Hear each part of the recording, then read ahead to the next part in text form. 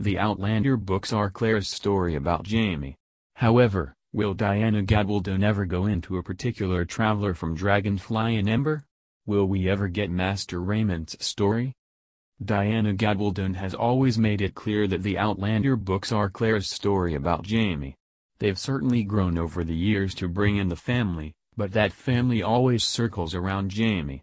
Yet, there are other characters that have certainly drawn people in and one of those was in Dragonfly and Amber. During the French part of the storyline, we were introduced to Master Raymond. There are particular elements of his life that we already know, including the fact that all travelers come from him. Yes, that means Claire is a descendant of Master Raymond. While not currently in the works, Diana Gabaldon told the Scotsman that she wants to eventually tell Master Raymond's story. We may have met him in 18th century France but that is not when he's from. This is a man who she says is from 3500 BC. Yes, really. He's from a time before Christ and that is likely going to be important for the particular elements of time travel.